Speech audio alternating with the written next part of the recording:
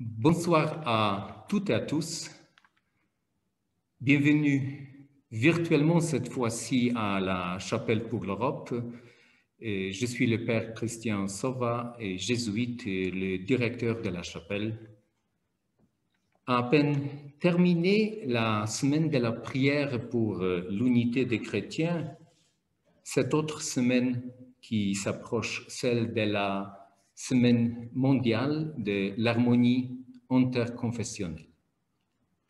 La chapelle pour l'Europe est interculturelle et écuménique dès le début. Mais vite, nous nous sommes rendus compte que dans notre société multiculturelle, et on le voit bien à Bruxelles, écuménique, ce n'est pas assez. Le rêve est donc, c'est rencontrer dans notre richesse multiculturelle, dans notre richesse interconfessionnelle, pour se mieux connaître, pour se rendre compte que nous avons peut-être plus en commun que nous le pensons, et pour développer une culture de dialogue dans notre société. D'où vient le titre de notre soirée, un évêque, un rabbin et un imam rêvent ensemble d'une société fraternelle. Cette soirée est organisée ensemble avec l'association InTouch, engagée dans le domaine du dialogue interculturel et interreligieux à Bruxelles. Et maintenant, je vous présente sa directrice, Rosmarine Van Weinsberg, qui à son tour va nous présenter nos invités, nos distingués invités de ce soir. Rosmarine, bienvenue.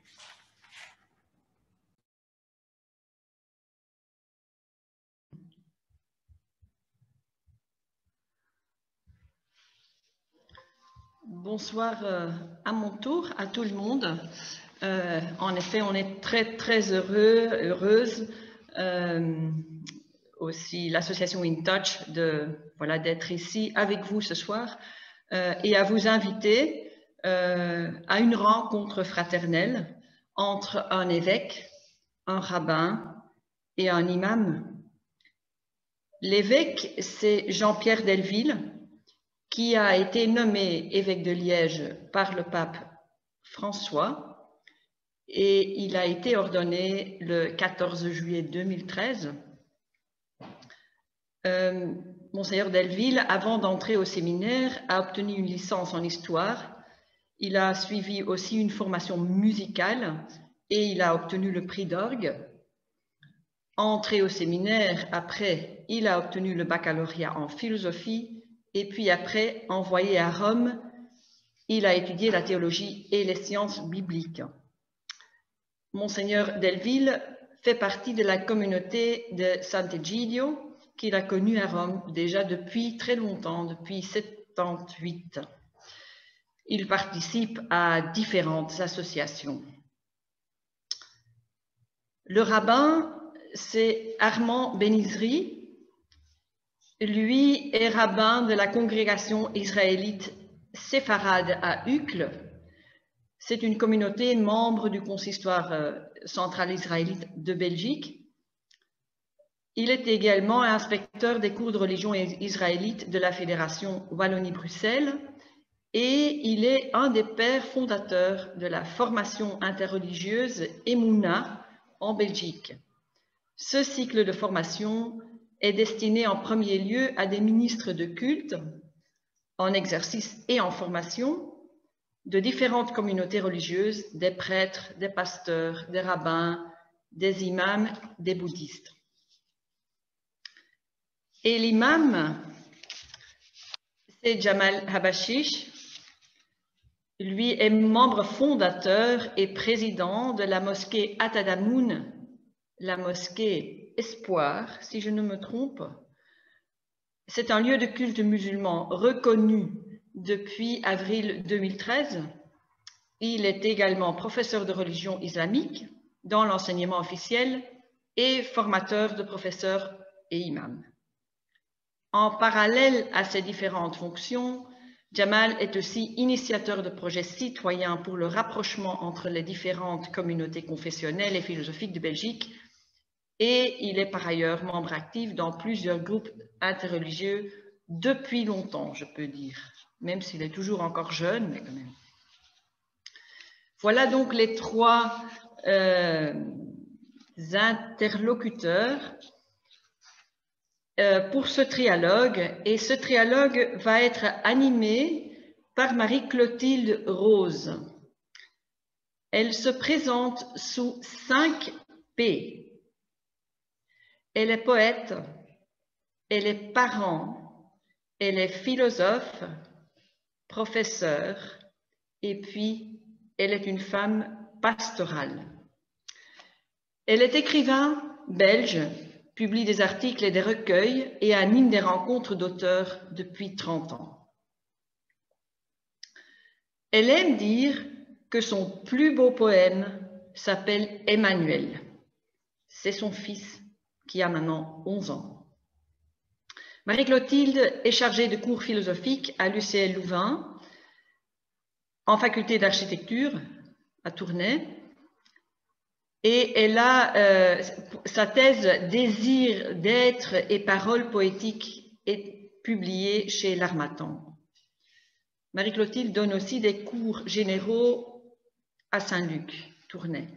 Elle est animatrice en pastorale pour l'enseignement supérieur à Mons et dans ce cadre, elle a reçu la formation Emouna en 2019-2020, la formation dont je parlais avant, invitant au dialogue interreligieux. Je lui passe la parole. Merci à vous tous. Alors, euh, bonsoir et merci de m'avoir si gentiment invité et, présenté. Et je remercie également euh, nos trois interlocuteurs d'avoir accepté que dans le cadre de ce dialogue, nous nous appelions tout simplement par nos prénoms. Donc, euh, voilà, je vais vous appeler par vos prénoms et pour commencer, pour vous connaître mieux, je vais vous poser à chacun trois questions. La première, avez-vous des frères et sœurs? Et cela vous a-t-il permis d'entendre sous le mot fraternité quelque chose de spécifique que vous aimeriez partager?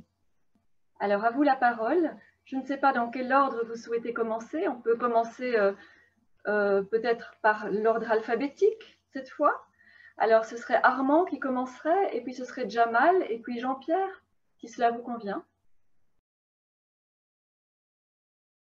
Oui, alors oui, le temps de, mettre le micro. Euh, oui, d'accord, il n'y a pas de souci. Euh, donc, oui, j'ai des frères et sœurs. nous sommes d'ailleurs une grande famille. Et, euh, et, effectivement, le fait que je précise que nous sommes une grande famille, euh, c'est que la notion de, fraternité, euh, elle est particulièrement importante. Et on, on est on n'est pas très différents l'un de l'autre, mais je veux dire, il y a des personnalités différentes, mais malgré tout, il y a une solidarité euh, qui est, euh, euh, je suis un petit peu ennuyé de le dire, mais elle est exceptionnelle parce que on a un principe, c'est que on ne peut pas parler de nous, on ne peut pas témoigner pour nous. Alors là, je, témoigne et, donc c'est ça qui fait que je suis en porte-à-faux par rapport à, à l'éthique que nous avons, c'est c'est de ne pas euh, dire de notre enfant qu'il est le plus beau. Donc voilà, vous m'avez compris. Voilà.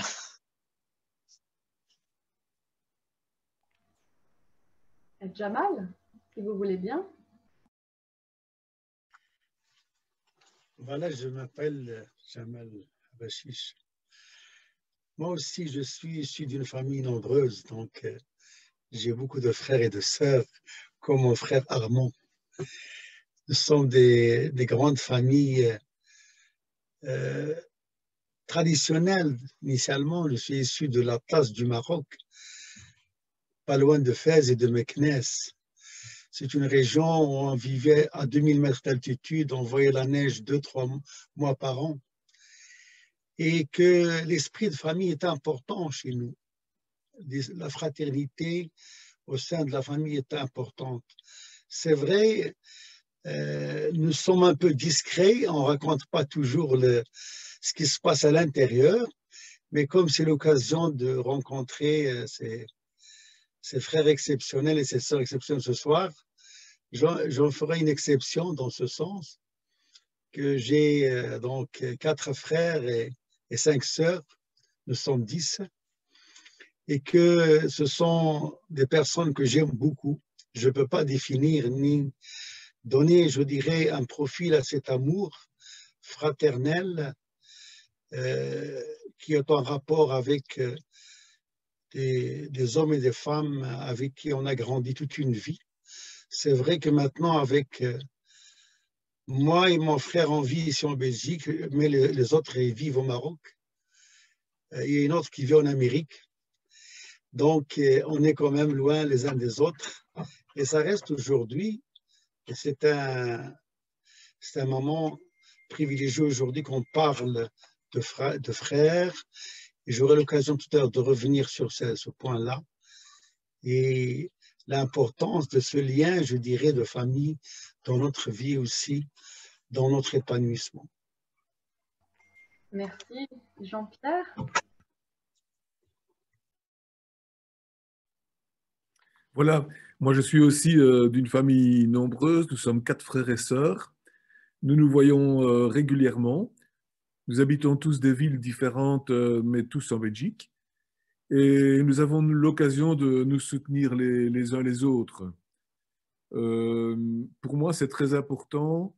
J'ai des rencontres avec une de mes sœurs presque chaque dimanche. avec les autres frères et sœurs, nous nous voyons euh, par réunion de famille ou bien par petits groupes. De temps en temps, nous allons faire une balade ensemble. J'ai eu l'occasion de faire une très belle balade avec une de mes sœurs dernièrement. Et c'était pour moi très important parce qu'avec cette euh, situation du Covid, on vit beaucoup de difficultés, beaucoup de, drames quelque part. Et euh, j'avais la volonté d'échanger avec une de mes sœurs, euh, je dirais de manière un peu approfondie sur le sujet. Nous avons pu faire ça dans une grande balade en forêt, ce qui m'a vraiment euh, redonné du moral. Et puis j'ajouterais que mes frères et sœurs, c'est aussi des conjoints, conjointes. Donc euh, la famille s'est démultipliée. J'ai des bonnes relations aussi donc avec mes beaux-frères, belles-sœurs.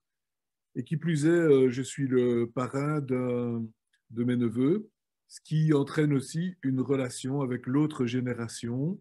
Et euh, pour moi, c'est aussi l'occasion de rencontrer alors euh, des plus jeunes et euh, aussi des enfants, puisque désormais, mes frères et sœurs ont des enfants qui ont des petits-enfants, et donc me voilà grand-oncle, ce qui fait que c'est aussi pour moi une manière indirecte d'élargir la famille aux différentes générations.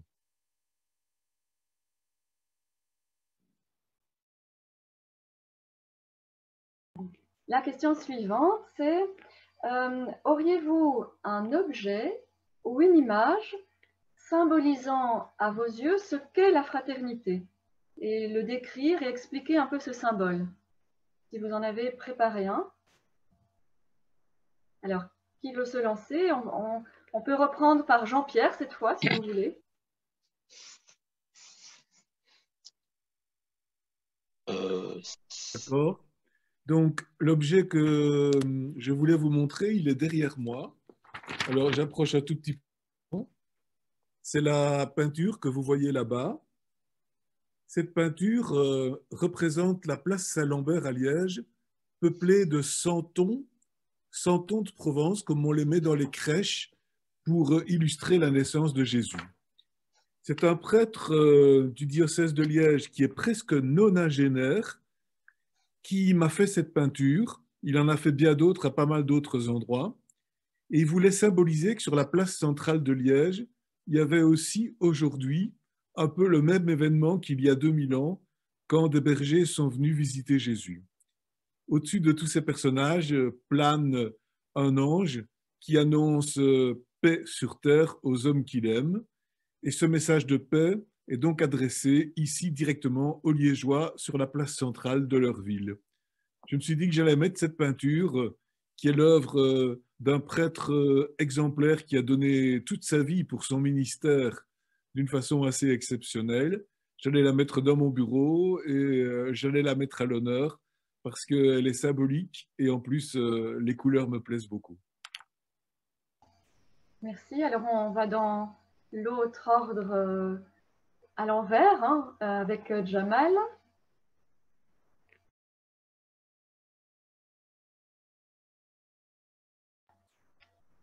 Attention, on ne vous entend pas.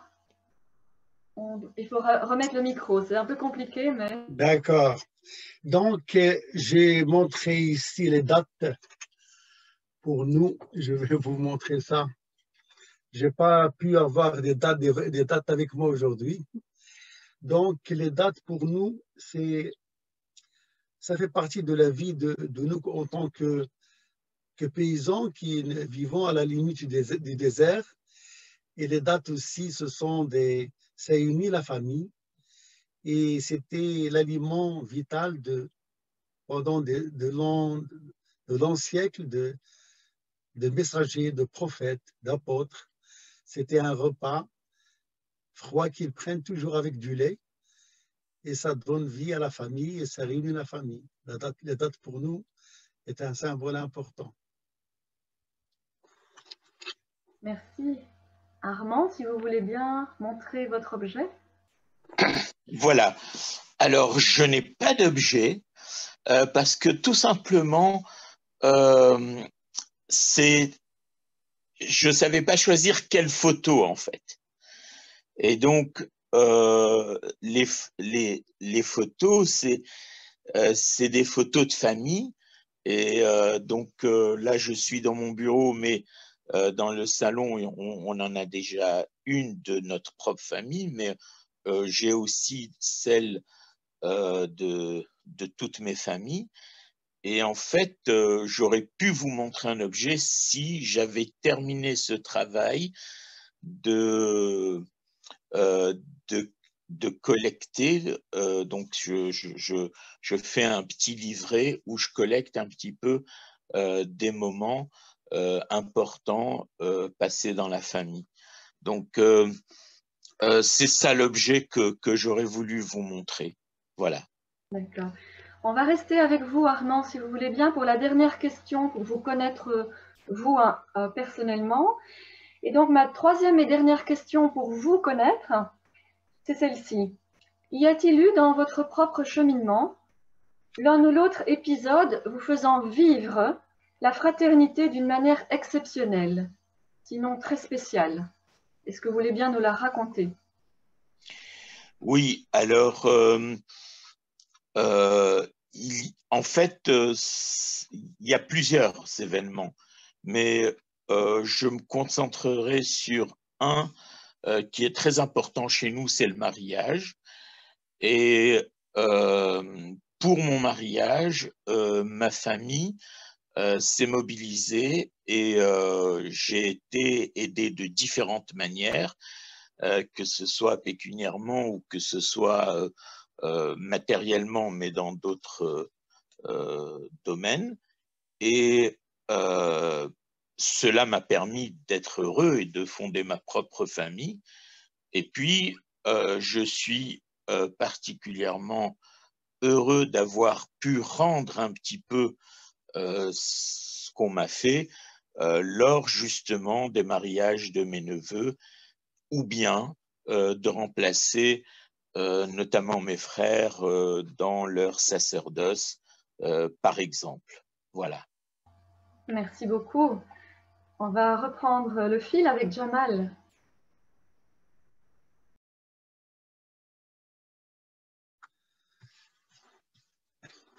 C'est une question assez difficile quand même parce que euh, dans notre cheminement, quand on parle de fraternité, je, moi je vais parler de deux volets. Il y a la fraternité humaine et la fraternité familiale.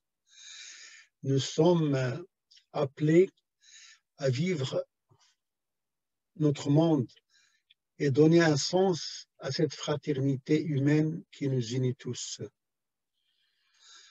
Pour moi, quand je lis le Coran, je découvre cette fraternité humaine.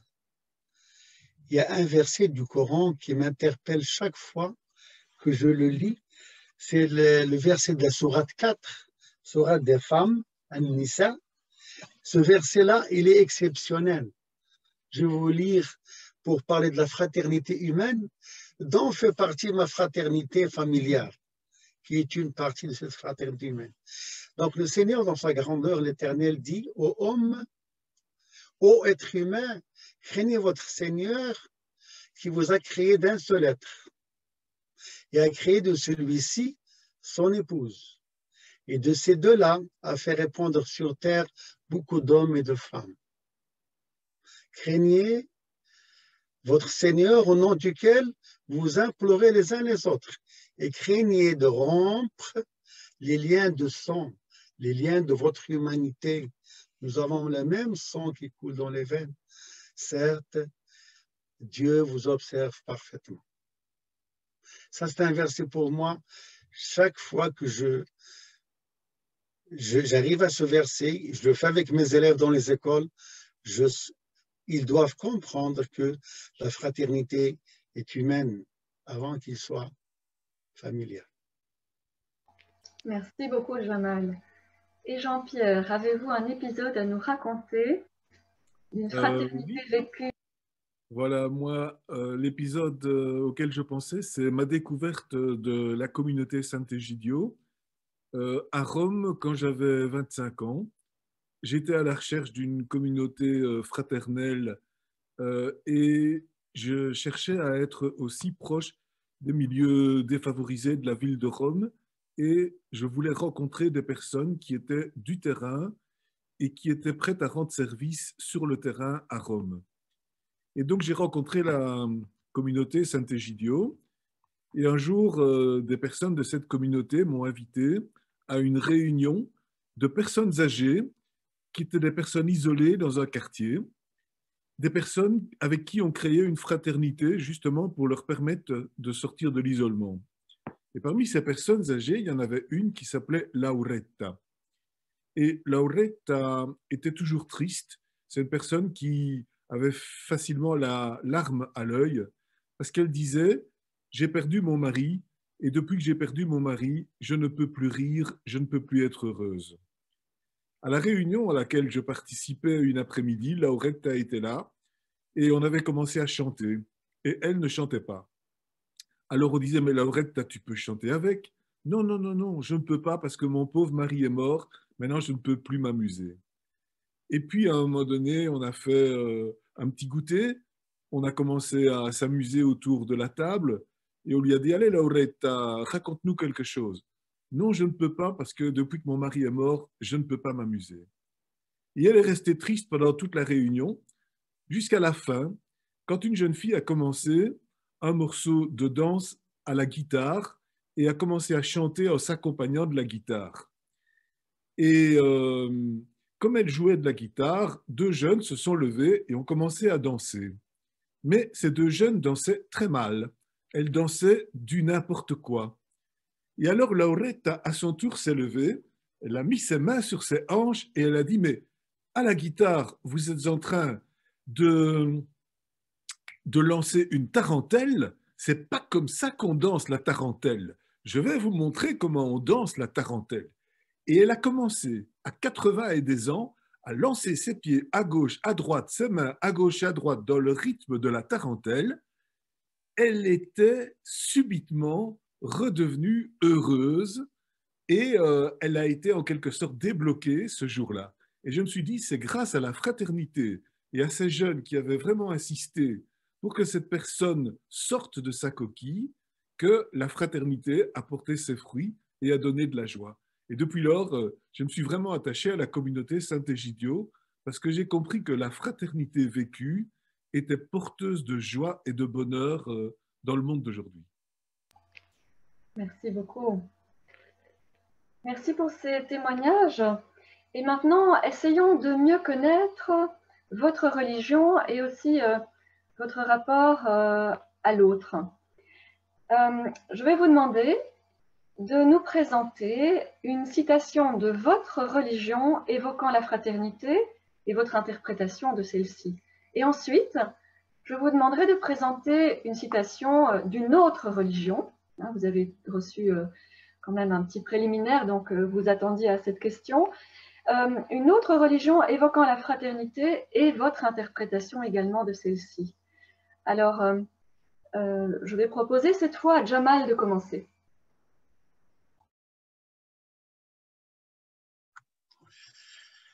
Bon, euh, la citation que je vais dire aujourd'hui, c'est celle du prophète Mohammed, sallallahu alayhi le prophète de l'islam. Donc notre prophète, malheureusement, qui est méconnu par beaucoup de musulmans eux-mêmes, parce qu'aujourd'hui on peut parler entendre parler d'un homme, et eh bien cet homme-là, il arrive à Médine après avoir fui les persécutions à la Mecque il arrive à Médine et était accueilli par tous les habitants de cette belle cité. Toutes les confessions étaient là, mais alors euh, il les a regardés, il leur a dit cinq ou six mots qui restent dans, la mémoire de beaucoup de musulmans. Il leur a dit Ô habitants, habitants de cette cité, je vous appelle à vivre la paix entre vous. Et de nourrir ceux qui sont dans nos besoins. Ne vivez pas dans, euh, avec un sentiment d'ignorer l'autre. Pensez à ceux qui n'ont pas. Et parlez avec douceur, avec apaisement. N'agressez pas les autres, ne soyez pas violents, soyez sereins et calmes. Il leur a dit, n'oubliez pas les liens humains qui vous unissent, les liens de sang qui vous unissent. Vous êtes tous issus, d'un homme et d'une femme. Il aurait dit en dernier lieu, et allez prier le soir quand tout le monde dort.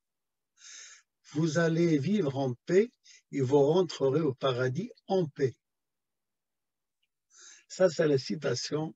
Je peux vous l'envoyer après si vous voulez qu'il a dit au prophète. Et tout le monde était rassuré, apaisé, et tout le monde dit, cet homme-là est un homme de bien. Ça, c'est la citation dans ma religion. Je, cite maintenant une autre citation d'une autre religion. Là, je reviens au Christ, que la paix soit sur lui. Quand il marchait, dans notre tradition, on nous a appris ça. Quand il marchait, euh, dans une ville, dans, un petit village, et certains, certains politiques, certaines personnes qui ne l'aimaient pas lui disent des, vilaines choses. Mais lui, il ne répond pas. Ses apôtres lui disent, mais, mais Jésus, tu ne réponds pas, Seigneur, qu'est-ce qui t'arrive? Il leur a dit, écoutez, chacun donne de ce qu'il a. Ce n'est pas ma devise, ce n'est pas mon langage. Ces gens-là, ils veulent me provoquer, moi, je leur donne ce que j'ai reçu. Chacun de nous donne ce qu'il a.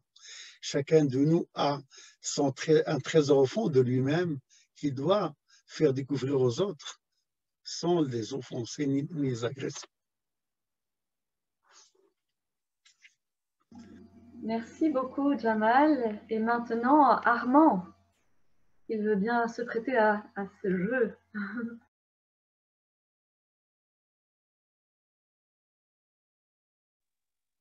désolé, euh, les, écrans tactiles, c'est pas toujours évident, surtout quand on a de gros doigts. Voilà, c'était pour euh, enclencher le micro. Alors, j'ai beaucoup réfléchi à ça. Et pourquoi? Parce que, évidemment, il y a plusieurs euh, citations que j'aurais pu donner, que ce soit de la Torah ou que ce soit des Maximes des Pères ou, d'autres encore. Euh, mais euh, j'ai voulu une certaine ligne de conduite et puis quelque chose qui englobe tout le reste finalement. Et vous allez voir que pour la citation euh, d'une autre religion, eh ben alors je me suis dit, autant prendre une très simple de l'Ancien Testament, que tout le monde connaît d'ailleurs, donc Lévitique chapitre 19, verset 18. En hébreu, c'est et tu aimeras ton prochain comme toi-même. Mais en réalité, si je la cite en hébreu, c'est parce que en hébreu, c'est et tu aimeras à ton prochain comme toi-même. Ce n'est pas un COD, mais de là, on interprète en disant que, en fait, euh, parce que, euh, voilà, il faut d'abord s'aimer soi-même. Donc, euh, c'est une injonction qui, qui, est quand même, qui peut paraître un petit peu simpliste comme ça, mais en vérité, c'est tout ce qui appartient à ton prochain. Donc, et tu aimeras à ton prochain comme toi-même, donc tout ce qui lui appartient. De là, d'ailleurs, le dixième commandement qui est très important, c'est de ne pas euh, convoiter ce qui appartient à son prochain. Et euh, le fait donc de respecter ce qui est à son prochain. Mais alors, euh, pour aller vite, parce que évidemment c'est une belle histoire de Hillel que je pense que tout le monde connaît aussi, à partir du moment où euh, tu n'aimerais pas euh, qu'on te fasse quelque chose, eh bien, ne le fais pas à ton prochain. Eh bien, à partir de ce moment-là, eh bien, on, arrive à, aimer son prochain, bien sûr, à le respecter. Et donc, je voulais euh, insister sur le respect. Euh, pourquoi? Parce que c'est facile. C'est quand même pas difficile de respecter l'autre. Et si on respecte l'autre, on peut arriver vraiment à, beaucoup de choses. Euh, et donc, cette citation, je l'ai choisie parce que voilà, pour nos frères chrétiens, ben, ils, ont l'Ancien Testament, donc voilà. Euh, ça, colle très bien. Et, pour euh, nos frères musulmans, eh bien, euh, tout à l'heure, Jamal m'a un petit peu devancé parce que ce que ce j'ai retenu, c'est quelque chose qui se rapproche de ce qu'il a dit et qui pour moi est fondamental, c'est la sourate 49, verset 13, où de mémoire, on dit euh, ô homme, nous avons été créés d'une mâle et d'une femelle. Donc en fait, euh, c'est quelque chose qui est très important pour moi, c'est-à-dire où chacun réalise qu'on est fait effectivement de la même manière, on vient de la même manière et on finit de la même manière, eh ben, il n'y a pas plus preuve que ça qu'on est frères. Voilà. Merci beaucoup Armand. Maintenant, c'est au tour de Jean-Pierre. Oui. Alors, euh, comme euh, citation, j'ai choisi un passage de l'évangile euh, de Matthieu qui dit, où Jésus lui-même d'ailleurs dit ceci, si tu présentes ton offrande vers l'autel et que tu te souviennes que ton frère a quelque chose contre toi, laisse ton offrande devant l'autel et va d'abord te réconcilier avec ton frère, et puis tu présenteras ton offrande à l'autel. Voilà, je trouve que c'est important pour moi, cette euh, priorité de la réconciliation, pour que l'offrande et la prière soient sincères et soient, euh, je dirais, pleines de signification. Euh, il est important d'avoir cette dimension de réconciliation dans, dans le monde et, comme euh, dit Jésus, de se réconcilier avec son frère. Euh, Jésus dit d'ailleurs, si, si, tu te souviens que ton frère a quelque chose contre toi, donc on ne dit pas que tu as quelque chose contre ton frère, mais que ton frère a quelque chose contre toi. Donc ça veut dire qu'il faut déjà rentrer dans la conscience de l'autre en se disant, tiens, est-ce qu'il n'aurait pas un reproche à me faire? C'est, euh, je dirais, une manière de se mettre dans la peau de l'autre et de se dire, tiens, au fond, est-ce qu'il n'a pas une difficulté avec moi? Est-ce que j'ai bien compris sa mentalité?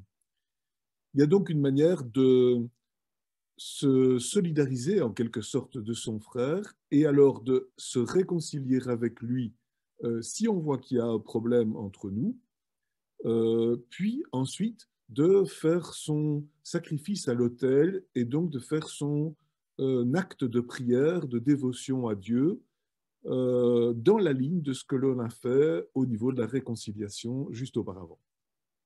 Voilà.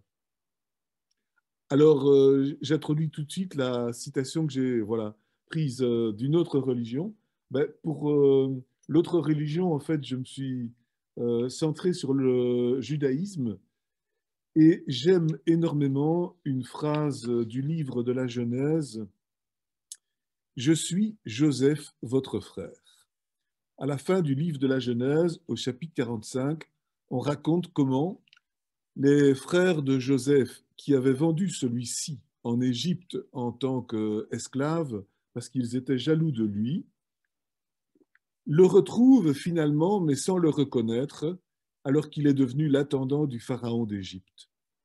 Et Joseph a voulu que ses frères qui sont venus le retrouver sans le reconnaître parce qu'ils étaient dans la disette et qu'ils avaient besoin de subsides, de nourriture et ainsi de suite, Joseph a voulu en quelque sorte éduquer ses frères à la fraternité, les faire revenir plusieurs fois, demander des nouvelles de leur père, Jacob, de leur frère, Benjamin, qui n'était pas avec eux, et donc petit à petit de créer une nouvelle relation pour que la fraternité qui avait été brisée par cette trahison, par cette vente de Joseph par ses frères, puisse être reconstruite d'une façon consciente, volontaire et progressive par euh, le bon accueil que Joseph réservait à ses frères avant de se faire reconnaître.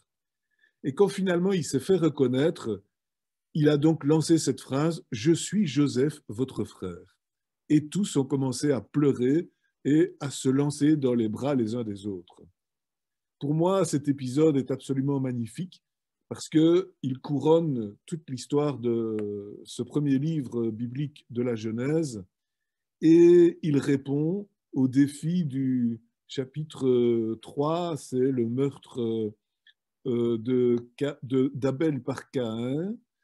Euh, c'est donc euh, face à la fraternité rompue, le travail d'une réconciliation qui devient une fraternité reconstruite.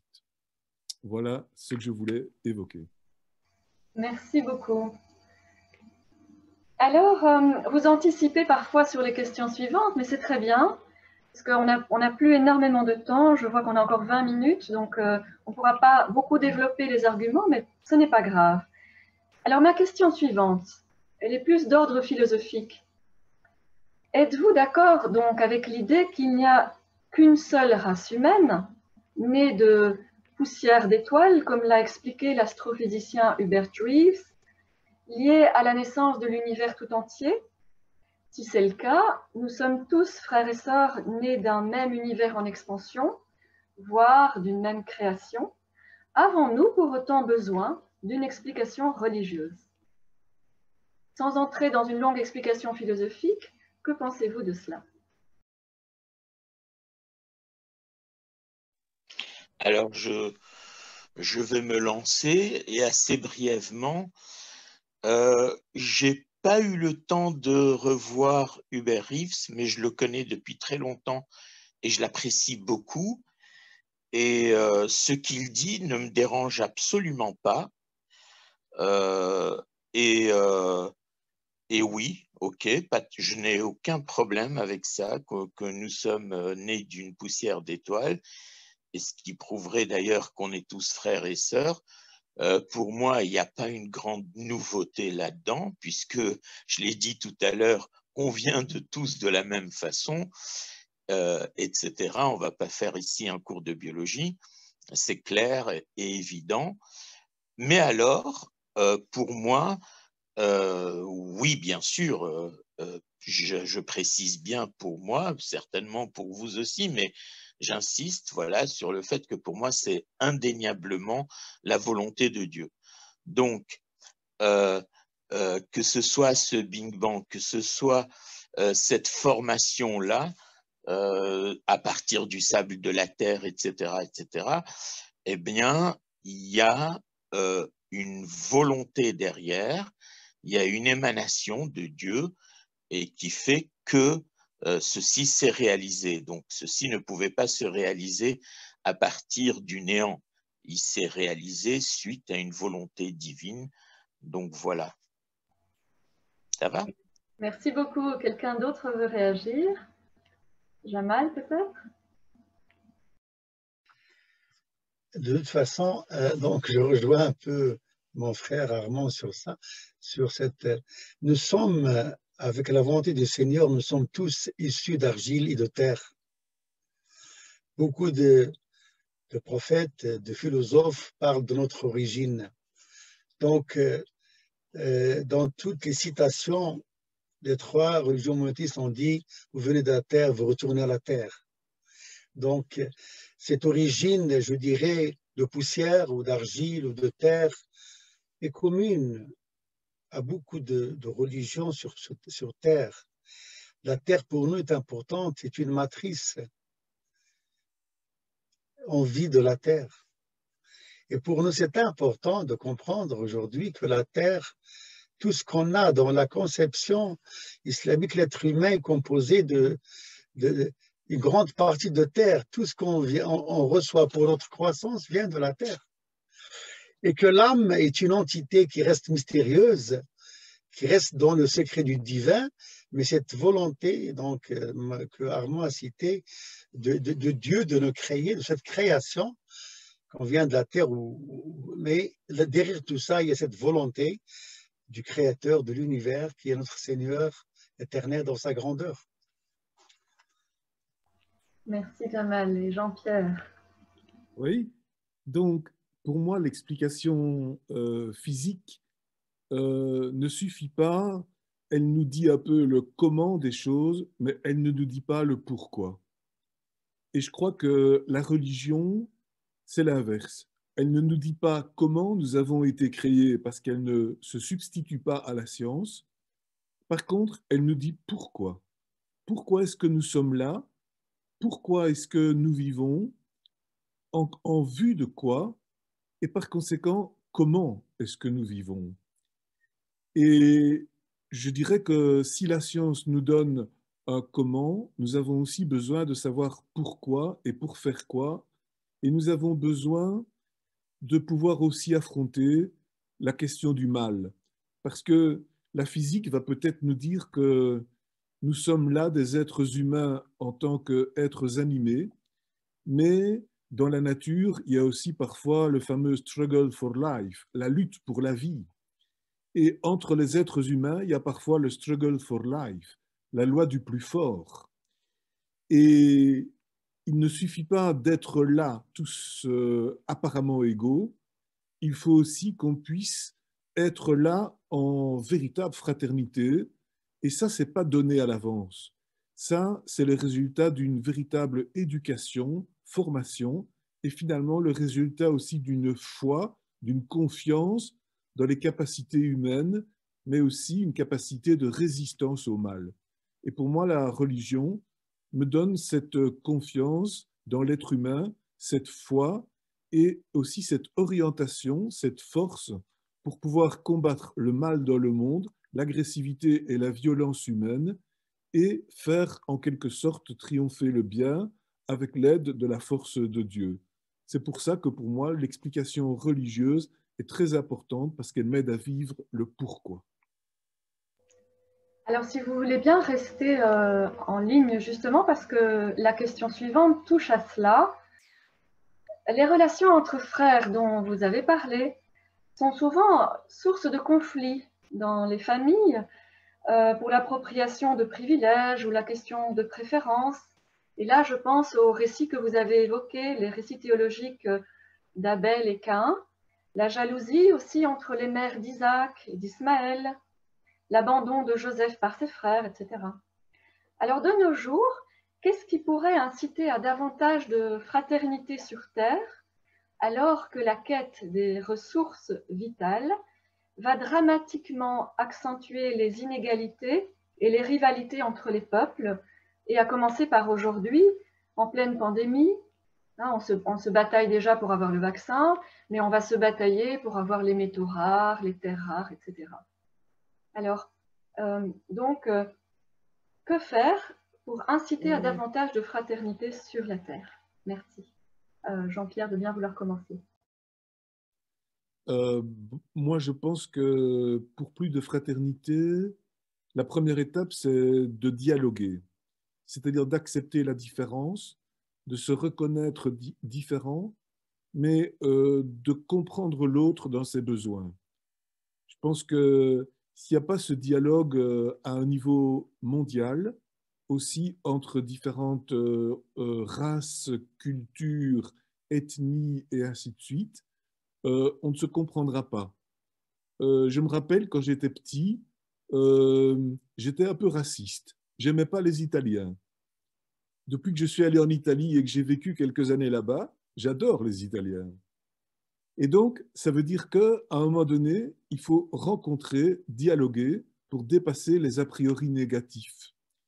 Et je pense que le dialogue, c'est pour moi la première étape ça passe par des réseaux de communication, mais ça passe aussi par euh, des euh, contacts personnels avec les personnes d'autres cultures, religions, origines.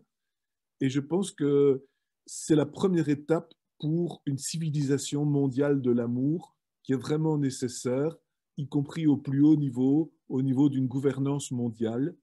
Mais la première étape, c'est le dialogue entre soi avec les gens qui sont différents. Merci beaucoup. Qu'en pensez-vous, euh, Jamal? Je crois, vous avez mis le doigt sur le sur l'écran, le sens de, de cette fraternité. Aujourd'hui, la fraternité, c'est une question d'éducation.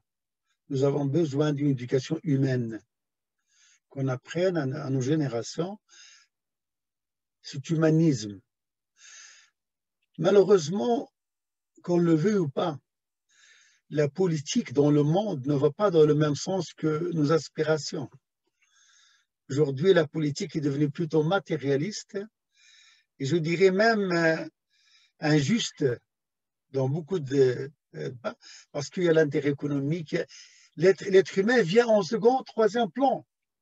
L'être humain n'est plus la primauté, n'est plus, le, je dirais, euh, je dirais, le, parmi les priorités des politiques dans nos États. On parle plus d'argent, on parle de travail, mais on ne parle pas de l'humain. Donc il y a un manque de conscience humaine pour la condition humaine dans le monde. J'ai beaucoup voyagé dans le monde, le monde arabe, en Asie, en Afrique, malheureusement, j'ai vu la misère dans beaucoup de pays. C'est aujourd'hui, on a le privilège d'avoir tout accès à tout, tout accessible pour nous. Dans d'autres pays, il faut, que la femme ou l'homme fasse 20-30 km pour avoir de l'eau à boire. Donc nous sommes aujourd'hui euh, censés revenir à, nos valeurs euh, essentielles celle de notre humanité, de notre origine. C'est vrai que ce n'est pas facile. Euh, l'expérience personnelle de plus de 35 ans dans l'interreligion à Bruxelles, par exemple, m'a appris que euh, aller vers l'autre, c'est une volonté personnelle. La fraternité humaine se construit entre des hommes et des femmes de notre, de notre monde. Il y a dans tous les pays du monde des gens de bonne volonté. Mais vous savez, le bonheur, l'apaisement personnel qui permet aux gens de se rapprocher, c'est une culture. A des cultures qui sont bâties sur la solidarité, sur la modestie, sur l'amour. et des cultures où on dresse des barrières. La diversité culturelle et confessionnelle est une richesse pour notre planète. Dans un verset du Coran, notre Seigneur dit, si votre Seigneur l'a voulu, il aurait fait de vous une seule communauté. Mais il vous a donné ce choix de tracer votre propre chemin. Et ce chemin se trace sur des bases saines de fraternité humaine qui doit être, ça doit commencer par nous. Je recommence tout à l'heure comme dit Armand, c'est-à-dire euh, j'aime à, l'autre ce que j'aime pour moi-même, je dois aussi au moi-même être sûr et certain que je crois en ces valeurs d'humanité, de fraternité. Je ne dois pas être quelqu'un, se réunir pour se réunir, parler de fraternité pour pas de fraternité, mais il faut le vivre. Euh, euh, dans, euh, dans le métier que j'ai exercé pendant longtemps maintenant, soit comme imam, soit comme enseignant, c'est le message qu'on dit à nos fidèles et qu'on dit à nos élèves. Et quand j'ai fait, je termine avec ça, avec mes élèves, le document de la fraternité qui a été signé à Abu Dhabi avec mes élèves l'année passée, de, de Reto, il y avait j'ai senti que ces enfants, ces jeunes étaient interpellés. Ils disent, mais cette fraternité, on essaie de la vivre à l'école, avec nos moyens, mais est-ce que les adultes sont prêts? La question, ils, m'ont vraiment coincé. Est-ce que les adultes sont prêts aujourd'hui à vivre cette fraternité humaine? Magnifique question. Alors, on va laisser euh, Armand s'exprimer lui aussi. Oui, alors euh, effectivement, euh, vous avez soulevé euh, tous ces conflits fraternels dans la, dans la Bible et euh, la Torah vient du verbe léorot, c'est enseigner.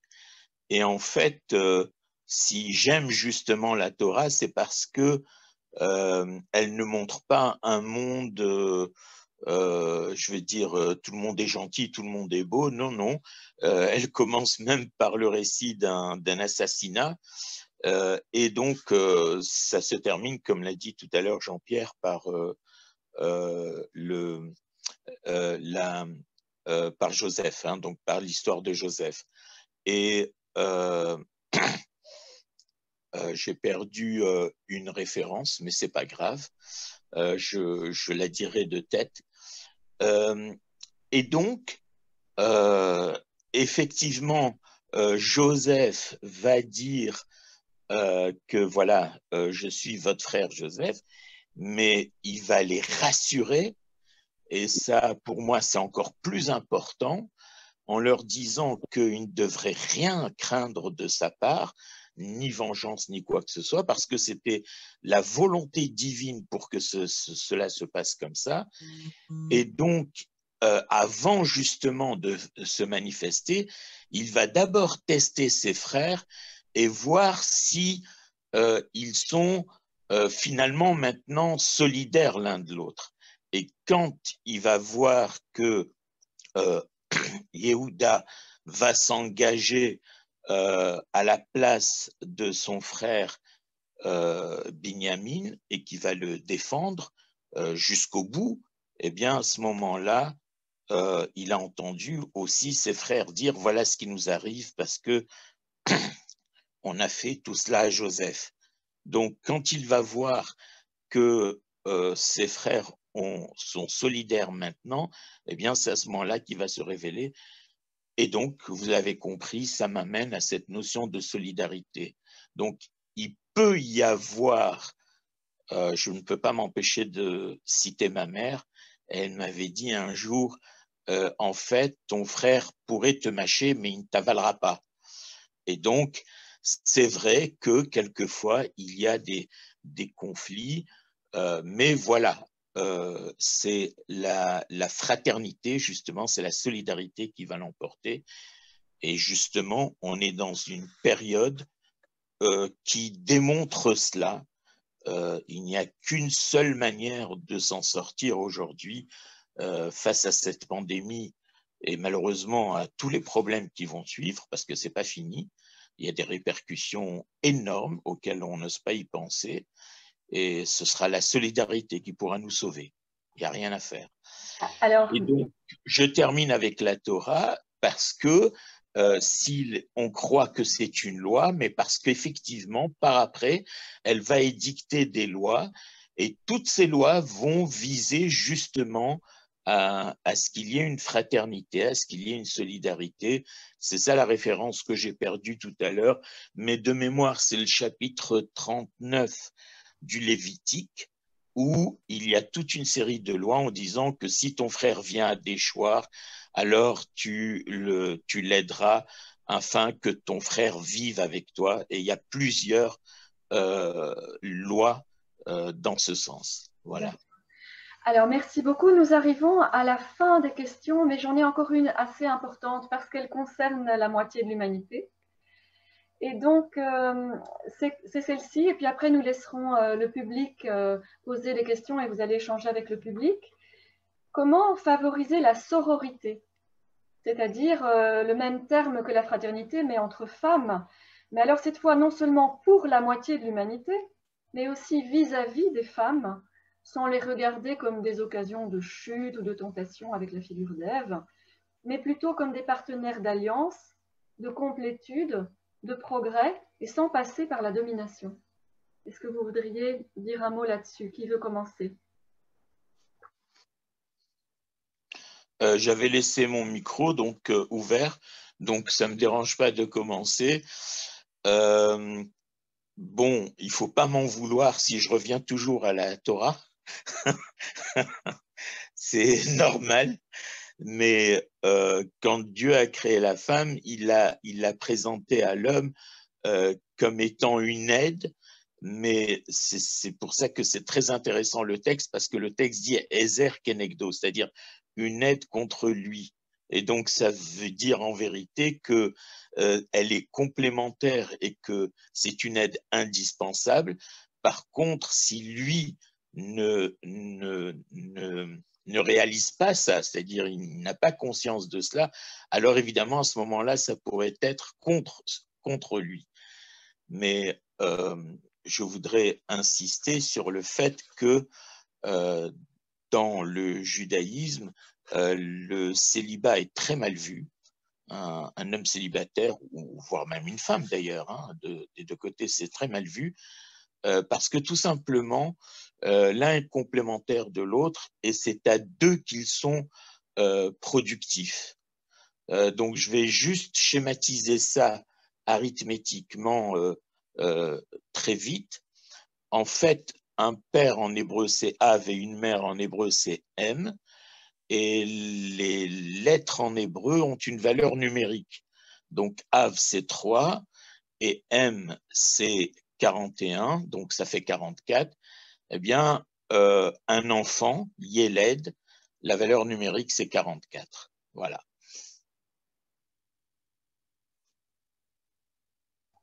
Merci beaucoup. Alors, on va demander encore à peut-être Jamal de s'exprimer sur la question de la place des femmes.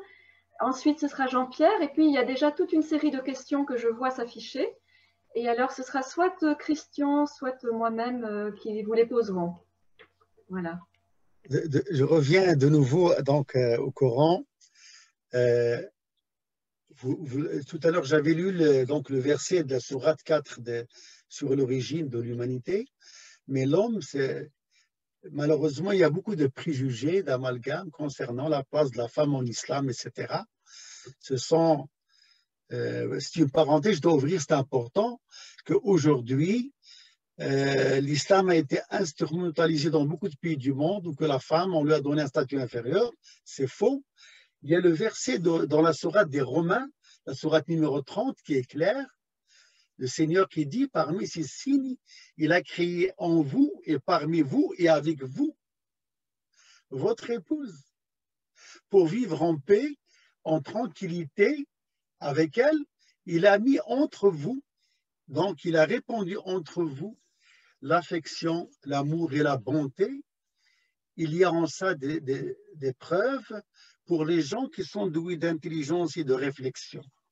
C'est-à-dire l'homme ne vaut rien sans femme. Une femme, la femme, c'est la, la compagne de l'homme dans toutes les cultures. Aujourd'hui, qu'on le, le veuille ou pas, nous sommes dans un monde où on vit en harmonie ensemble, où la femme a sa place. Et d'ailleurs, le prophète de l'islam, Mohammed, a eu le privilège de, de rencontrer une femme exceptionnelle, qui était plus âgée que lui. Elle avait 25 et elle avait 40 ans. Cette femme, il le dit lui-même, le jour où il l'a perdu après 25 ans de vie commune, où ils ont eu quatre filles extraordinaires et deux garçons, il a pleuré pendant une année la mort de sa femme. Parce qu'il a dit, j'ai jamais aimé quelqu'un aussi fort que cette grande dame qui est Khadija. Donc, je crois qu'il ne faut pas se leurrer. Euh, l'homme ou la femme, ce sont des créatures qui ont été créées par notre Seigneur, je dirais, pour donner un sens à la vie sur Terre. Et c'est important de, que, nos enfants, que nos, je dirais, nos communautés comprennent aujourd'hui que l'homme et la femme, c'est une seule personne, créée d'une seule âme. Merci, merci Jamal. Alors, euh, Jean-Pierre va terminer, puis je vois toute une série de questions dont certaines sont assez euh, costaudes. Donc, euh, à vous la parole, Jean-Pierre. Oui moi, je trouve qu'il est très important que dans le quatrième évangile, ça se termine euh, comme ceci. Jésus est sur la croix, il va mourir. Il y a là au pied de la croix sa mère Marie. Il y a le disciple bien-aimé qu'on identifie à Jean. Et Jésus dit, Femme, voici ton fils. Fils, voici ta mère. Ça veut dire que Jésus qui meurt confie Marie, sa mère, au disciple bien-aimé et Marie, par le fait même, devient la mère de toute la communauté chrétienne, puisque le disciple est le symbole de tout disciple. Ce qui veut dire que Marie est à un moment donné euh, faite par Jésus, pas simplement sa mère à lui, mais la mère de tous les croyants. Ça veut dire que la communauté est symbolisée par une femme. Et c'est une femme qui symbolise le rôle de la communauté. Ça rejoint le cantique des cantiques, puisque dans le cantique des cantiques, euh, il y a l'être euh, qui est l'époux, qui est le symbole de Dieu, et l'épouse, qui est le symbole de la communauté et des croyants. Et donc, je crois que cette symbolique qui est mise en valeur met sur le même pied l'homme et la femme, et elle valorise aussi le rôle de porteuse de vie qu'est la femme, qui est une particularité une sensibilité fondamentale dans notre humanité. Un jour, j'ai donné une conférence sur euh, l'écologie et en particulier sur l'encyclique du pape Laudato Si, et une dame m'a posé la question, mais est-ce que le pape parle des femmes dans l'écologie? J'ai dû dire, non, c'est vrai, il n'y a pas beaucoup de mention des femmes dans cette encyclique. Eh bien, m'a dit cette dame, c'est une erreur, parce que les femmes sont capables de vivre l'écologie avec un sens plus profond que les hommes, parce qu'elles ont cette sensibilité à la vie que l'homme n'a pas toujours de la même façon. Alors je retiens ça comme une question, comme un défi, et je crois que la femme dans l'écologie a un rôle d'avenir pour l'humanité. Alors, merci beaucoup. Et là, je ne sais pas si Christian souhaite euh, reprendre la parole et poser les questions ou s'il veut que je le fasse. C'est justement maintenant, on voit déjà qu'il y a une onzaine de questions et, peut-être aussi il y a d'autres questions qui sont sur le Facebook. Et maintenant, vous pouvez continuer. Je crois que ces questions-là nous aident à un petit peu à dynamiser euh, ces discours. Et, je crois que c'est Rosemarine maintenant qui se trouve devant euh, l'écran avec toutes les questions. Alors, Rosemarine, c'est à toi à jouer.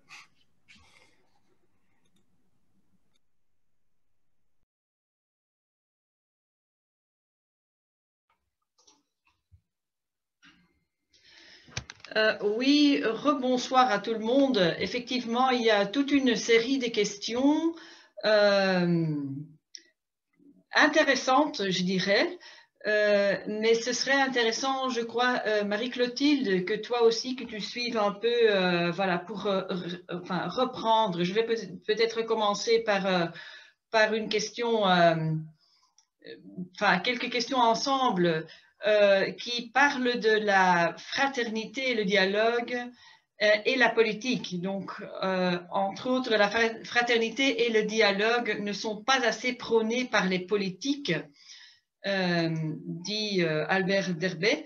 Comment les religions luttent pour cette fraternité par exemple, pour abattre les murs qui empêchent de se connaître et de se parler. Et cette question, donc euh, la pertinence de la religion, des religions dans, euh, dans le débat politique revient à plusieurs reprises dans des questions.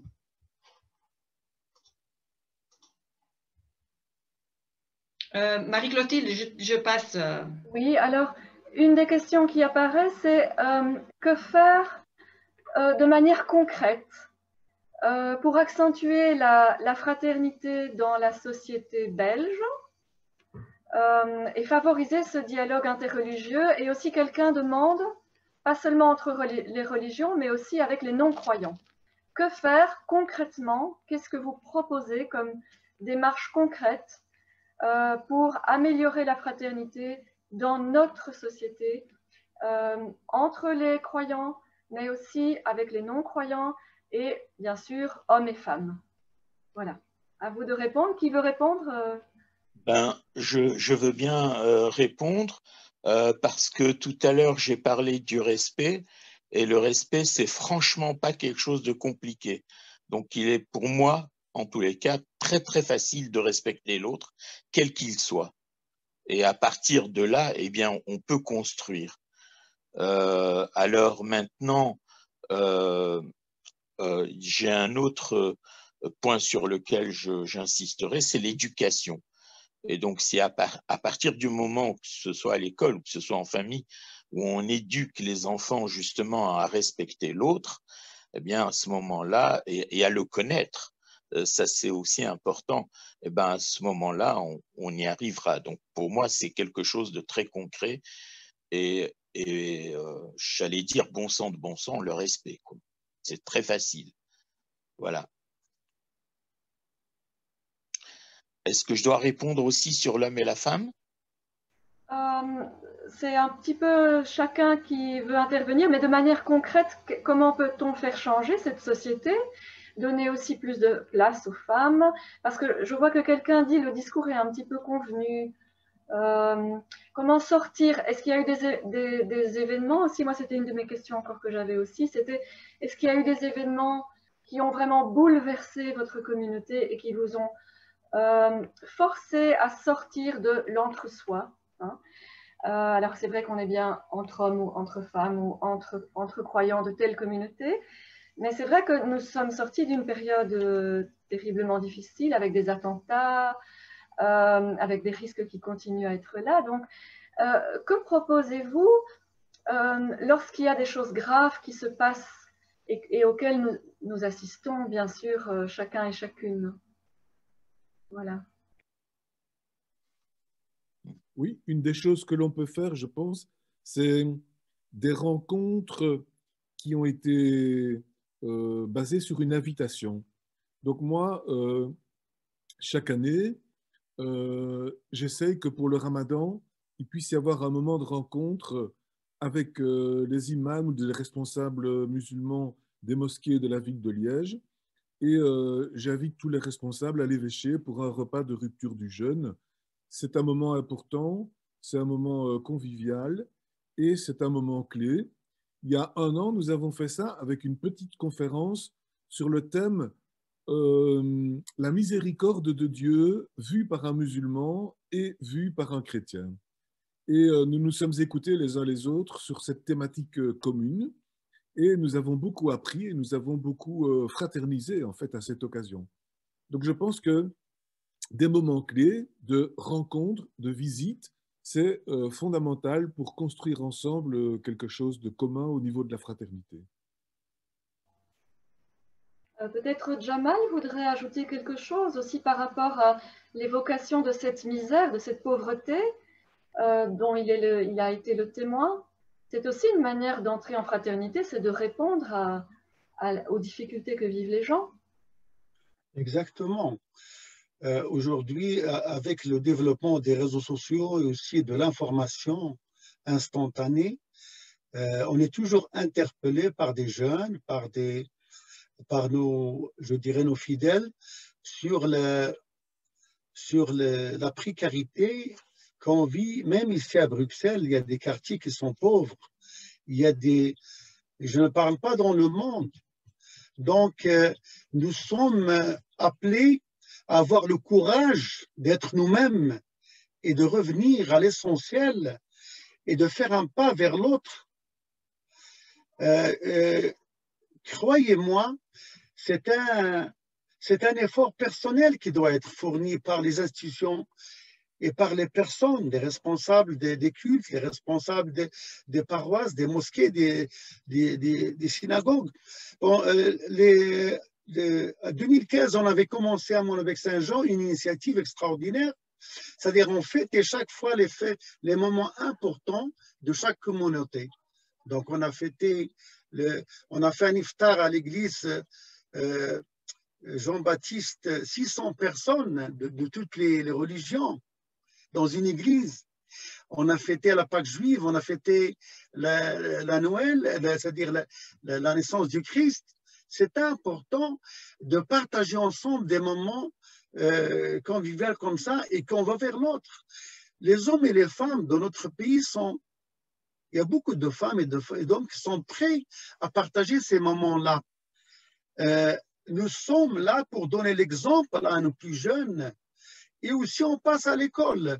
Je crois qu'on avait, avec la communauté Saint-Digidio, fait une initiative il y a une dizaine d'années de trialogue, un prêtre, un imam et un... Moi, j'ai fait avec eux ça trois ans, un prêtre, un imam et un, et un rabbin.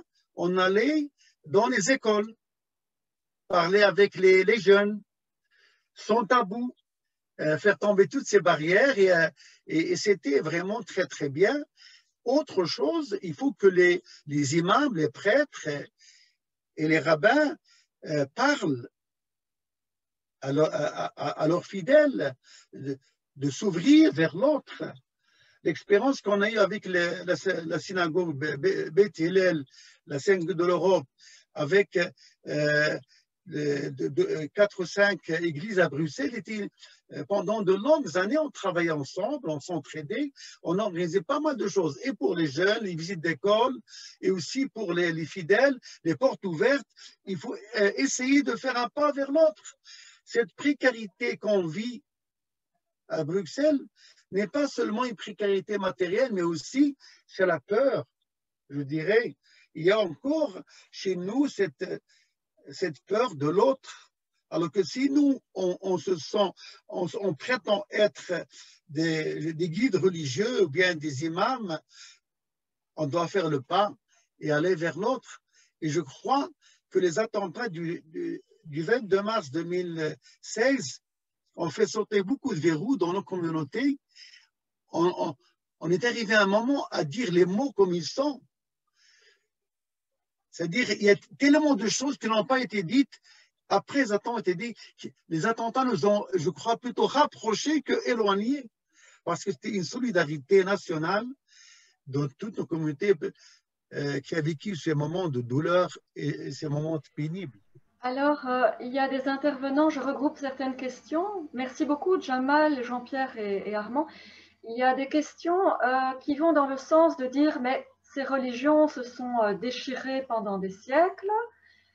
Euh, qu'est-ce qu'elles apportent de meilleur par rapport aux non-croyants? Et euh, également, est-ce que la spiritualité, au sens simple, ne serait pas ce qui rassemble Et est-ce qu'on ne pourrait pas se contenter de simplement du mot la spiritualité en référence à le noir? Est-ce que la spiritualité n'est pas un mot qui finalement mettrait d'accord tout le monde sans passer par le mot religion, qui veut dire euh, un ensemble de, rites, de dogmes, etc. Qu'en pensez-vous? Oui, donc moi je pense que le mot spiritualité est très très important, euh, mais il n'élimine pas l'épaisseur d'une tradition religieuse, parce qu'une spiritualité doit être basée sur une expérience. Elle ne se construit pas de rien, elle se construit à partir euh, de toute une accumulation de traditions humaines et c'est à partir de ces traditions que nous pouvons alors innover dans notre spiritualité.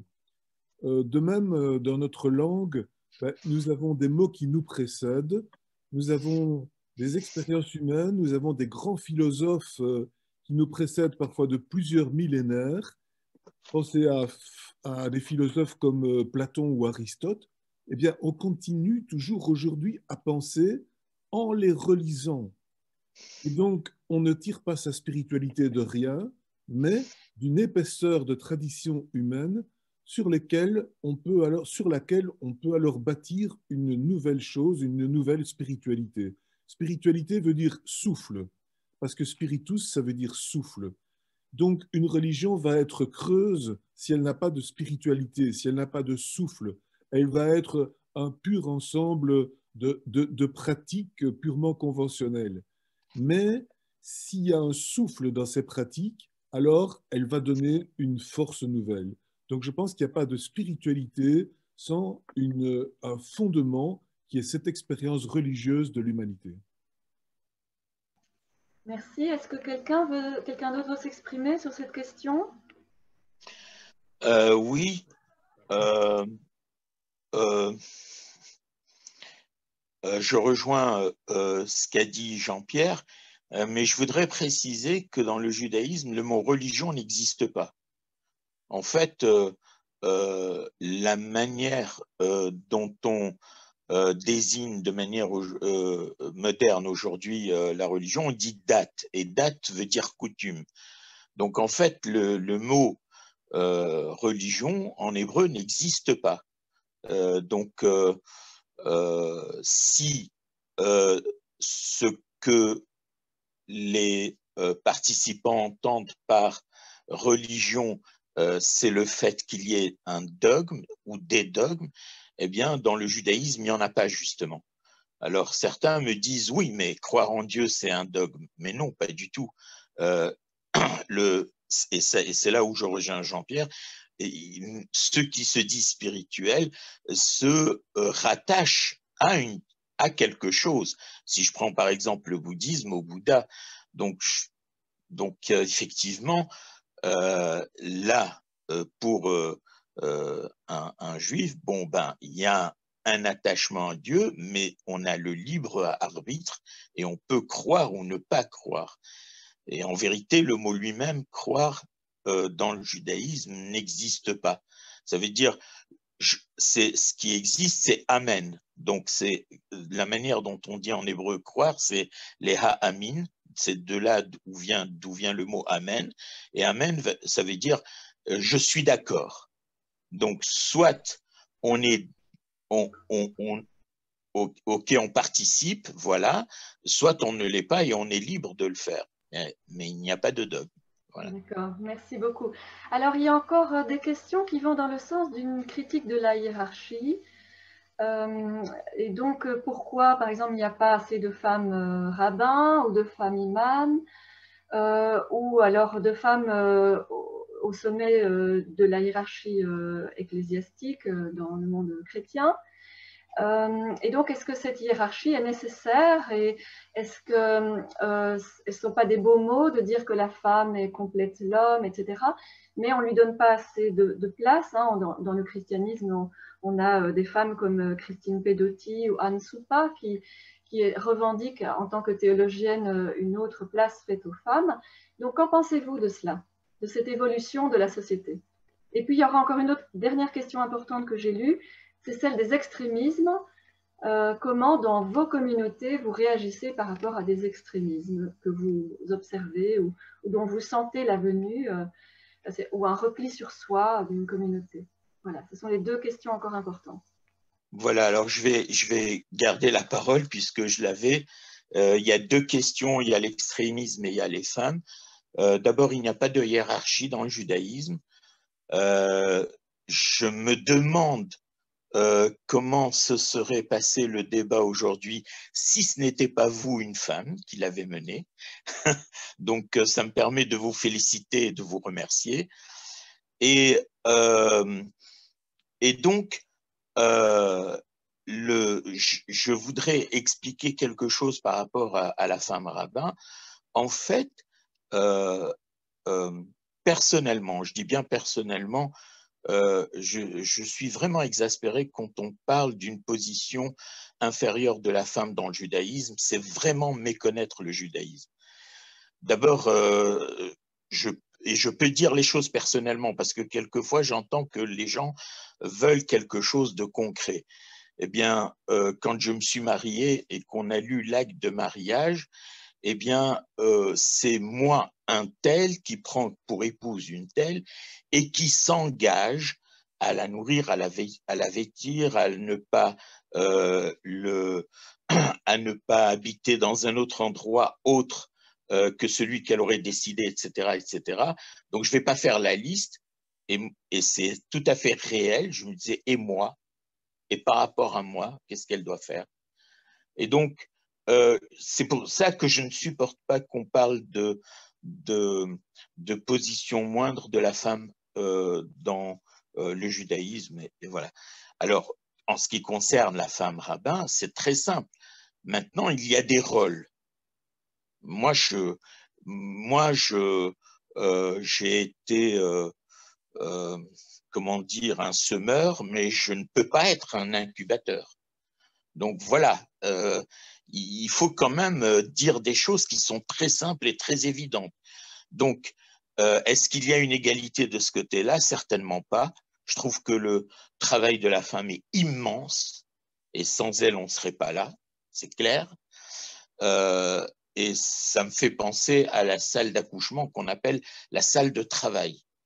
Donc voilà, euh, tout ça est évident, donc je vais, mais c'est pour dire que voilà, la femme a son rôle et euh, la femme, du fait de ce rôle et qu'elle est le pilier de la maison, eh bien, euh, elle est dispensée des lois positives liées au temps comme par exemple la prière.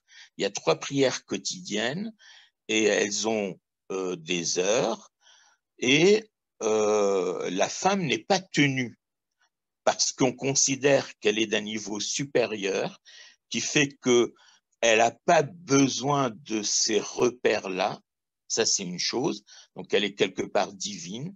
Et la deuxième chose, c'est qu'à partir du moment où elle a un rôle, eh ben, on la dispense de certaines tâches dont, qui sont déjà en elle, si je peux dire. Donc, il n'y a pas de, il n'y a, absolument pas de, la question qu'il n'y ait pas de femme rabbin, c'est tout simplement comme le rabbin dirige la prière. Donc, le rabbin, en dirigeant la prière, il dispense ceux qui ne savent pas prier. Donc la femme ne peut pas dispenser quelqu'un euh, puisqu'elle n'est pas obligée de faire la prière. Donc elle ne peut pas dispenser quelqu'un qui ne peut pas la faire. C'est aussi simple que ça. Il y a encore un autre aspect, mais bon, ça suffit comme ça. Euh, précisons quand même qu'il y a des femmes rabbins et celle qui a créé Emouna est une rabbine, hein, femme rabbin. Donc euh, tous ceux qui veulent entrer dans le dialogue interreligieux peuvent suivre cette formation. Enfin, il faut postuler et c'est tout à fait passionnant euh, et on voit à quel point, en fait, en faisant cette formation, on se rend compte à quel point on ne connaît pas déjà à fond sa propre religion et celle de l'autre. On a tellement, tellement à apprendre les uns des autres. Donc voilà. Euh, Simplement, moi j'ai parlé du, du, euh, du judaïsme traditionnel. Hein. donc les femmes rabbins, il en existe plein d'ailleurs, mais alors c'est des domaines, c'est dans des euh, dans des mouvements libéraux ou autres, mais pas dans le mouvement traditionnel. D'accord, merci. Est-ce que hum, quelqu'un d'autre veut s'exprimer sur la place de la femme? Oui, Jamal? Oui. De toute façon, la, la, question de la femme, c'est une question depuis l'époque d'Abraham, ça ne date pas d'aujourd'hui la prophétie a toujours été masculine dans ce sens-là. Mais euh, il y a un élément qui est important, c'est que diriger la prière, les hommes ont toujours dirigé la prière. Il y a des femmes imams euh, dans le monde musulman, il y a des instituts qui, forment des, femmes imams, qui peuvent diriger la, prière des femmes, ils peuvent donner des cours à des femmes, et des, prédicatrices, des théologiennes. il y a beaucoup de femmes. C'est vrai en Belgique, euh, il n'y a pas encore, euh, en Belgique c'est nouveau, depuis euh, donc 2020, il y aura des, donc des femmes théologiennes et prédicatrices dans les mosquées qui vont diriger aussi des conférences et certains offices concernant les femmes. donc la femme, normalement, c'est à, nos communautés de, d'essayer de, travailler cette question de la participation de la femme dans les offices, dans certaines cérémonies. Seulement dans la prière, par exemple, après du vendredi, la prière, euh, dans la tradition musulmane, c'est un homme qui dirige la prière parce que ce moment de prière est un moment d'intimité avec tous ces gestes, ces mouvements. Donc, les femmes et les hommes sont séparés dans la prière. Concernant la question de, euh, rapidement euh, de l'extrémisme, etc., parce que vous avez posé deux questions en même temps, aujourd'hui, nous sommes, c'est vrai, devant un phénomène mondial concernant certaines lectures, je dirais, assez euh, rigoristes et, assez radicales de, certains textes sacrés. Aujourd'hui, les, imams, par exemple, dont, je, parle, sont appelés à, à, être en devant de la scène et aussi à s'exprimer sur ces questions-là et à déconstruire un discours aujourd'hui qu'on trouve euh, sur la toile, qu'on trouve partout, qui est plutôt un discours euh, je dirais, un peu extrémiste et rigoriste. Merci euh, Jamal de votre réaction. Et puis euh, Jean-Pierre? Oui, donc une hiérarchie est sans doute la hiérarchie de l'Église catholique au niveau des responsabilités dans l'Église, mais une hiérarchie au moins aussi importante, mais même plus importante, c'est la hiérarchie dans la sainteté. Et je pense que dans les églises, dans les communautés chrétiennes, les femmes sont peut-être plus saintes que les hommes. Il y a en tout cas plus de saintes que de saints, et euh, il y a euh, une supériorité, je crois, de la femme dans une certaine capacité de vivre une sainteté de vie. Dans le rapport qu'on a fait sur l'Église catholique en Belgique euh, l'an dernier, on a découvert qu'il y avait plus de femmes engagées dans l'Église à des tas de niveaux comme responsables de catéchèse ou de bien d'autres choses que d'hommes. Et donc, je crois que c'est très important, très important de se rendre compte que dans le concret de la vie, dans cette sainteté de vie, euh, je crois que la femme est au moins aussi importante, si pas plus, que l'homme. Maintenant, il y a partout des évolutions et dans l'Église catholique, il y a aussi beaucoup d'évolutions dans les hiérarchies. De plus en plus de femmes, moi j'ai des collaboratrices désormais qui sont des délégués épiscopales comme des prêtres qui sont vicaires épiscopaux avec des responsabilités importantes. Et il y a, euh, même au niveau du Vatican, de plus en plus de femmes dans les services. Donc je crois que de ce point de vue-là, il y a aussi une évolution euh, très importante qui est portée par, bien sûr, l'ère du temps, par la sensibilité euh, à la place de la femme dans la société qui évolue depuis maintenant des siècles et qui prend du temps à s'imposer mais néanmoins, il y a un mouvement irréversible et je crois que c'est très important que ce mouvement puisse prendre toutes sortes de formes, y compris celles que nous vivons actuellement dans l'Église catholique à beaucoup de niveaux. Merci beaucoup. Alors, euh, je voudrais revenir à la question de l'extrémisme par rapport à la politique. Donc, il y a plusieurs personnes qui demandent, mais au fond, que faites-vous, vous, les communautés religieuses, les responsables des communautés religieuses, par rapport aux politiques pour diffuser un message de fraternité, quelles choses concrètes sont réalisées pour diminuer l'extrémisme, euh, les, éventuelles insultes qui peuvent y avoir sur les réseaux sociaux, etc. Et alors, une, dernière petite question, euh, parce que le temps passe. Euh, si vous faites une distinction très claire entre valeurs religieuses et règles religieuses. Voilà. Euh, peut-être que l'extrémisme, justement, il, joue là-dessus. Il ne respecte pas les valeurs, mais il applique des règles strictes pour tout le monde, euh, et ceux qui ne les respectent pas sont éliminés. Euh, est-ce que vous pourriez peut-être chacun en conclure tout doucement sur cette interpellation en tant que responsable religieux dans une société civile. Par rapport aux politiques, que faire? Que faites-vous déjà peut-être? Ou est-ce qu'il y a des difficultés à lever, des grosses difficultés à lever que vous pourriez peut-être signaler aux politiques? Et, cette question des règles et des valeurs, elle, intervient certainement aussi dans votre réponse. Puisque j'ai le micro allumé, j'entame les affaires. Euh, mais par exemple, au niveau du politique, euh, nous avons fait une déclaration, les évêques de Belgique, la semaine dernière, le 22 janvier, pour l'abolition des armes nucléaires. Nous avons demandé qu'à l'occasion de cette journée d'abolition des armes nucléaires, le gouvernement belge ratifie la convention de l'ONU à ce sujet-là, comme d'autres États l'ont fait, mais la Belgique ne l'a pas encore fait.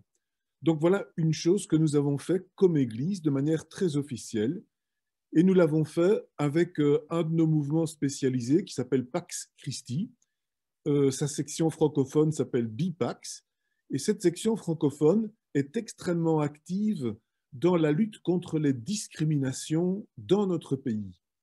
Et elle a fait, avec une trentaine de collaborateurs, de nombreuses sessions pour éduquer dans les écoles, dans les rues, dans les associations, les personnes à respecter l'autre quand il est d'une autre nationalité, d'une autre couleur de peau, d'une autre orientation sexuelle, toutes les discriminations qui peuvent exister, on travaille de manière très concrète sur la manière de les éliminer par ce type de session, par les publications et ainsi de suite. Ça, c'est vraiment quelque chose que nous faisons comme Église à travers un mouvement spécialisé c'est pas de la politique au sens de faire de la politique dans un parti ou de donner des consignes obligatoires au niveau politique, mais c'est une action de réflexion euh, pour influencer les mentalités au niveau politique. Merci. Quelqu'un veut réagir encore, euh, Jamal? Donc, euh, je dirais seulement que depuis de longues années, on a toujours agi localement avec le politique pour essayer un peu d'avoir ce soutien-là. Euh, il y a quelques années, les trois communautés, donc euh, de, Belgique, ils ont signé une déclaration commune pour respecter un certain nombre de valeurs. Tout à l'heure, Armand parle de respect. On a besoin aujourd'hui d'instaurer le respect dans notre pays.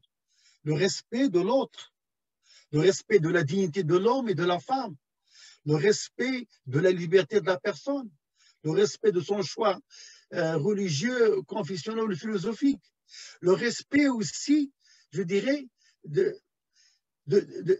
du choix dans nos sociétés.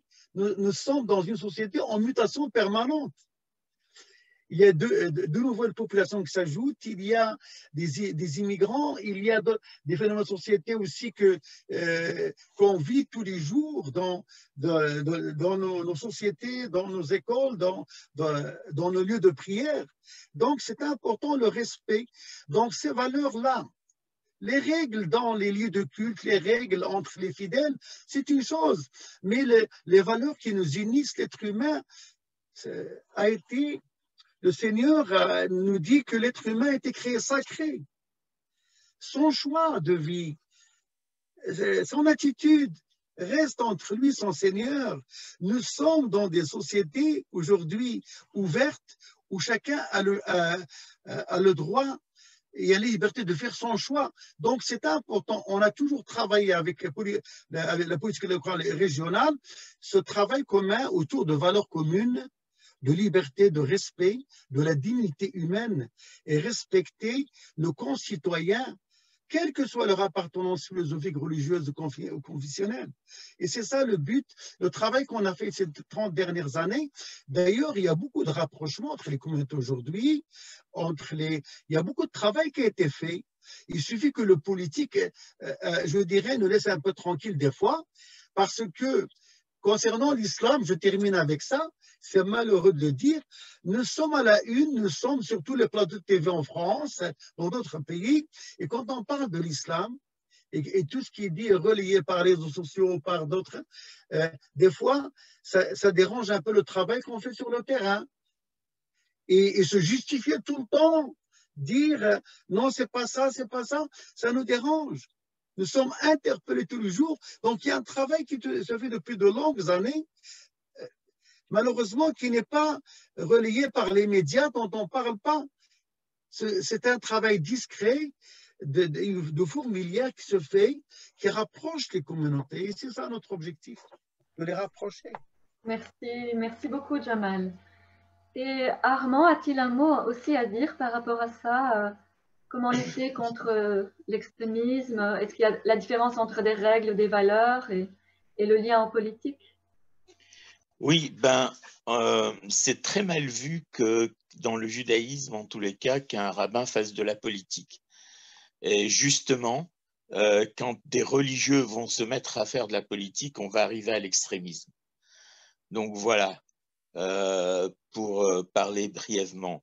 Maintenant, euh, nous, ce qu'on peut faire, ce qu'on et ce qu'on enfin ce qu'on fait, c'est le samedi matin lors de l'office, on, prie pour le gouvernement. Donc en France, ils ont un texte de prière pour la République française. Ici en Belgique, on a un texte de prière euh, pour Philippe et pour le gouvernement. Et, euh, et, et, que Dieu donc les inspire euh, et que euh, ils travaillent euh, plus bien sûr pour euh, la paix, pour la fraternité, puisque c'était le sujet de ce soir. voilà, c'est ça notre arme, c'est la prière. Maintenant, par rapport à ce que j'avais dit tout à l'heure, que la religion, en tant que dogme, n'existe pas, mais effectivement, il y a 613 commandements, mais le chiffre fait peur, mais quand on élimine euh, toutes celles qui sont dépendantes d'Israël, euh, toutes celles qu'on n'aura pas l'occasion de faire, etc., etc.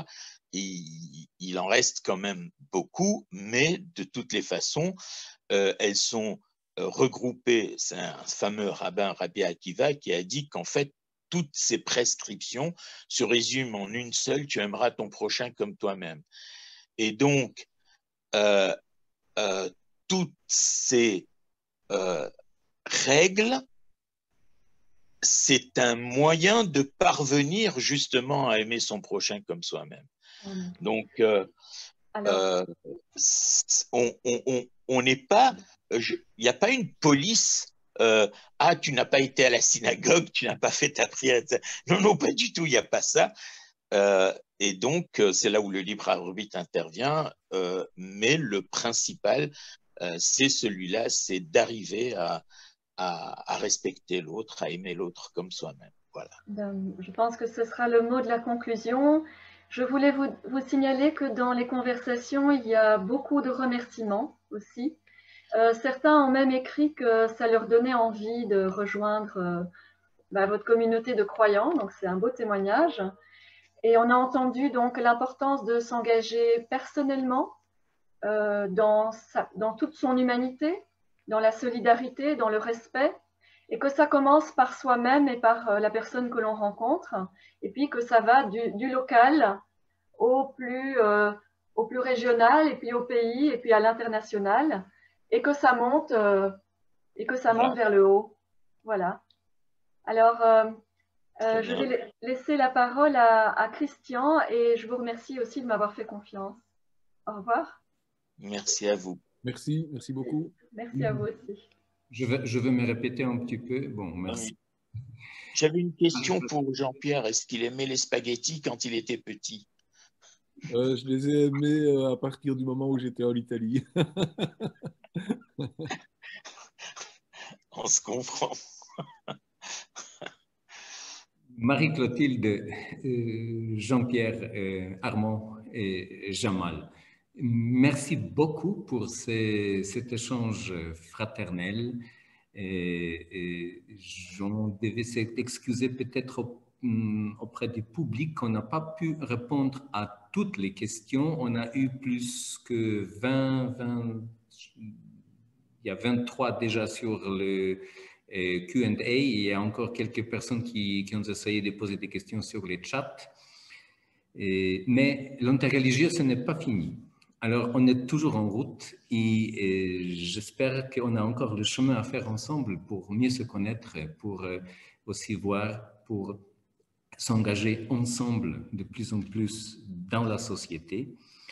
Et merci aux auditeurs. On était 145 euh, euh, sur les Zoom et je crois que aussi on était un petit groupe sur euh, le Facebook Live. Alors c'est un bon groupe et ça nous encourage aussi. Je à nos panélistes, je voudrais vous remercier, pas seulement virtuellement, et je vais chercher la possibilité de vous remercier avec notre tasse traditionnelle de la chapelle, avec une inscription qui, je crois qu'elle est assez interreligieuse. Ne dis pas à Dieu que tu as un grand problème, dis à ton problème que tu as un grand Dieu. Et cette tasse sera remplie avec des bonnes pralines belges, bien sûr. Et je crois que euh, personne euh, n'est pas allergique à la praline belge. Ce sont des valeurs communes. Last but not least, comme la chapelle est soutenue par ses amis et qu'elle ne reçoit pas les donations régulières, je vous aussi remercie pour euh, toutes vos donations. Euh, le lien doit être euh, visible, doit apparaître sur les chats. Sinon, vous pouvez les trouver aussi sur notre page web et ainsi, nous pouvons aussi continuer notre mission multiculturelle, écuménique, interreligieuse. Avant de vous dire euh, bonne soirée, je donne encore la parole à Rosemary.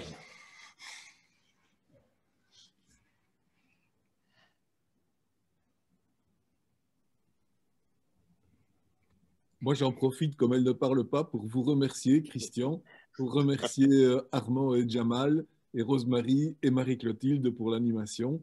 C'était une soirée vraiment agréable, intéressante, qui nous a permis de faire connaissance, alors que là, nous ne nous connaissions pas jusqu'à présent. Toujours bienvenue à la chapelle, tout le monde.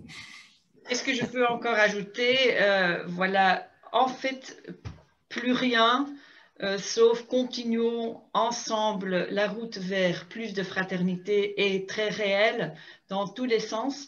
Et un tout grand merci à vous tous.